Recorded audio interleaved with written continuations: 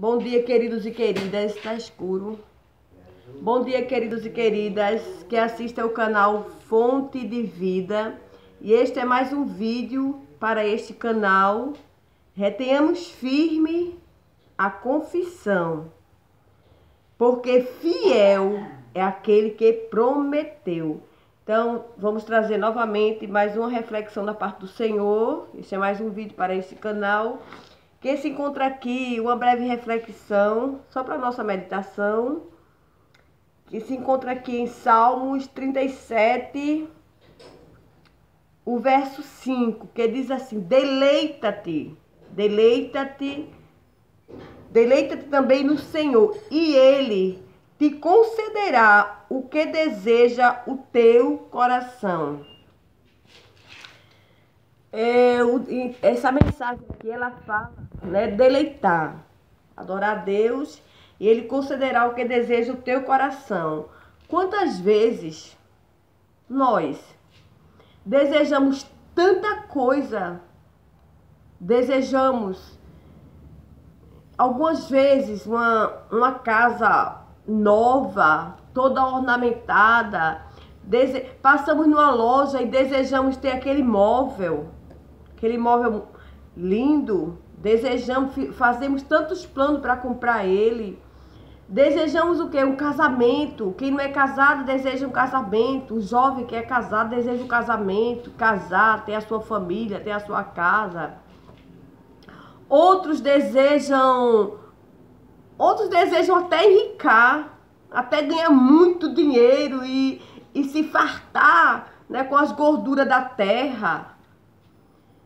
Outros desejam ter um bom emprego em que, em que supra com todas as suas necessidades, ou até mais um pouquinho para fazer alguma coisa mais extra, alguma coisa extra. Alguns desejam fazer uma viagem, um país que deseja, deseja conhecer, e muitas vezes a possibilidade financeira não permite que você conheça um país, um lugar, uma cidade. Então são vários desejos que permeia que permeia o ser humano aqui na Terra. Mas a Bíblia fala sobre um, um homem, um cobrador de impostos. Está aqui em Lucas 19. Ele desejou bem. A Bíblia diz que ele desejou bem que nós possamos meditar no desejo desse homem. O que estamos desejando? Será que o que estamos desejando faz com que o Senhor ele se aproxime de nós e se convide? E ele próprio se convida a entrar dentro da nossa casa e fazer morada na nossa vida e nos salvar. Foi o que aconteceu com esse jovem. Esse jovem chamado chamado Zaqueu, ele era um, a Bíblia diz que ele era um público. Essa história está aqui em, em Lucas 19. Um cobrador de impostos, e, e, fala um, co, cobrador de Zaqueu, o publicano. Ele era um cobrador de impostos, ele cobrava impostos naquela época das pessoas. E a Bíblia diz que ele desejou, ele desejou ver Jesus. E por ele ter desejado isso, pelo desejo dele ter partido de conhecer, né, o dono da vida, Deus cumpriu o desejo do coração dele. A Bíblia diz que e procurava ver, né? E Zaqueu ele e procurava ver quem era Jesus, ele desejava ver Jesus. E não podia por causa, por, por, por causa da multidão, pois era um homem de pequena estatura. Ele desejou. Não sei se talvez ele tenha, tenha visto ver os milagres que Jesus fazia. Ou ele desejou porque ele sabia que Jesus ele era o salvador do mundo, ele era o enviado de Deus para salvar a humanidade. Eu acredito que Zaqueu ele, ele, ele que desejou ver Jesus porque ele sabia que Jesus era o salvador do, das pessoas. Ele era aquele que ia tirar as pessoas da condição pecaminosa e ia trazer para o centro da vontade do Pai. Quero trazer para o centro da vontade de Deus. e procurava ver quem era Jesus e não podia, não podia por causa da multidão, pois era de pequena estatura.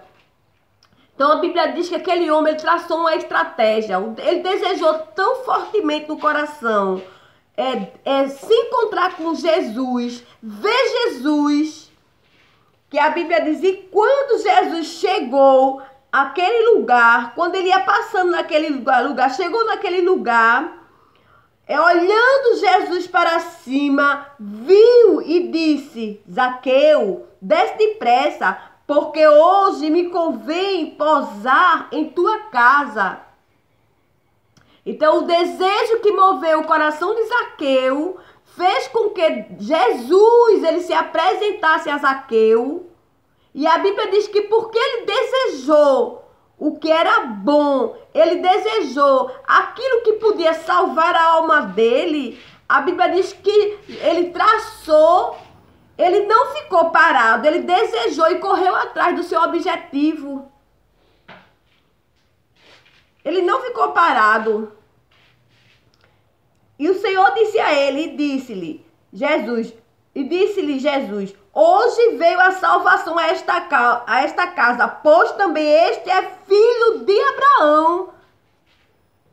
A Bíblia também conta de uma mulher ela passou 12 anos, a mulher do fluxo de sangue. Ela passou 12 anos com aquela enfermidade. E buscou médico, buscou, é, buscou outras fontes para que se curasse do problema de enfermidade que ela tinha, que era o fluxo de sangue. E por ela ter, buscar, ter desejado buscar a Deus, depois de 12 anos, aquela mulher ela passou por muitas tribulações e muitas coisas ruins. Ela passou por humilhação. Ela gastou todos os seus bens. Gastou, a Bíblia diz que ela gastou tudo que ela tinha. Porque ela não seguiu, não seguiu é, é buscar o Senhor, desejar o Senhor no momento oportuno. No momento que ela podia buscar, ela não buscou, mas ela buscou todas as fontes, mas menos as de Deus, menos as de Deus. Então, quando ela viu ouvir, quando ela ouviu que Jesus ia passar ali, a Bíblia diz que ela rompeu a multidão, já depois de, de muito ter sofrido e tocou na orla de, do, das vestes de Jesus, como ela disse. Que ela dizia: se tão somente eu tocar na orla do vestido dele, eu sararei. Que nesta manhã você, que nesta manhã você deseje, deseje o, o melhor para sua vida. Qual é o melhor? Desejar ver Jesus. Desejar buscar aquele que pode te salvar. Aquele que pode. A Bíblia diz que a gente não deve é, não deve temer aquele que pode matar a carne, mas sim aquele que pode, além de matar a carne, também matar o espírito.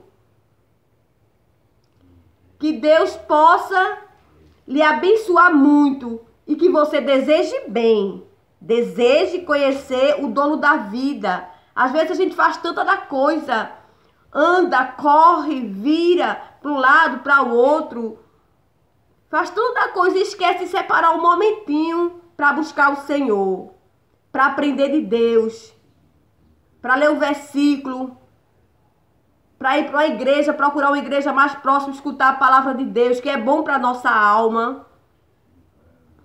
Não em todo canto, porque o mundo ele tem um, um, um, uma frase que diz assim: toda é toda barra é todo todo caminho dá na venda. Mas no caso no caso de conhecer Deus no caso de desejar a Deus não é toda barraca.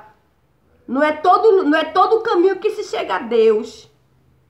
Mas que possamos desejar desejar o que é bom para nossa alma o que é bom para nossa vida como é, Zaqueu desejou e através daquele desejo que, que Zaqueu desejou, Jesus ele apareceu para a vida de Zaqueu. Jesus salvou a vida de Zaqueu. Zaqueu ficou tão, tão feliz com aquela visita que Deus, que Jesus fez na casa dele, que ele disse, que ele disse assim, deixa eu ver se eu encontro aqui, gente, o versículo.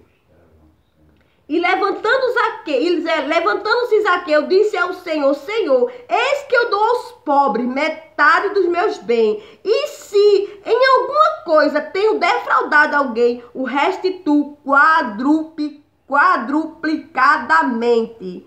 Então ele mostrou que ele se arrependeu.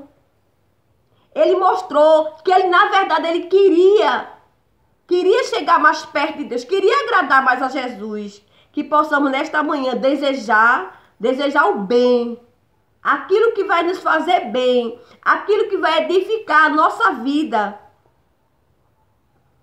Que possamos é, guardar essa palavra. Pois essa palavra é, a palavra é, a, é uma palavra de vida. É uma palavra que vai te levar para o céu. Se você desejar bem, desejar ver Jesus, desejar conhecer a Deus, desejar conhecer quem, quem, quem fundou a terra. Quem enviou Jesus para o mundo para salvar a humanidade? Que propósito tem Jesus na terra? E, e, sabemos que, e sabemos que essas verdades só podemos encontrar na Bíblia Sagrada. Ou através de pessoas que têm um compromisso com a palavra. Não em filmes, em filmes de em filmes evangélicos, que existem muitos por aí, mas não, não condizem com a, com a Bíblia, com a verdade de Deus. Mas quem, quem quer conhecer a Jesus, busca a verdade na Bíblia.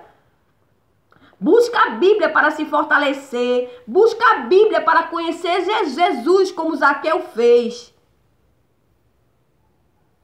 Zaqueu traçou uma estratégia e buscou para que Jesus se aproximasse mais dele, que ele se aproximasse mais de Jesus. Mas na verdade, Jesus está sempre próximo a gente. Muitas vezes nós é que nos afastamos dele e não buscamos viver a vontade do Senhor. Deus abençoe e tenha um ótimo dia na paz do Senhor. E que Jesus cumpra todos os desejos do seu coração, segundo a vontade de Deus. Amém.